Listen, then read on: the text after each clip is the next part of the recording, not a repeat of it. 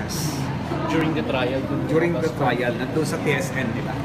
So, nung maipon na, so, uh, nag-ipon-ipon naman kami ng mga victims at doon namin.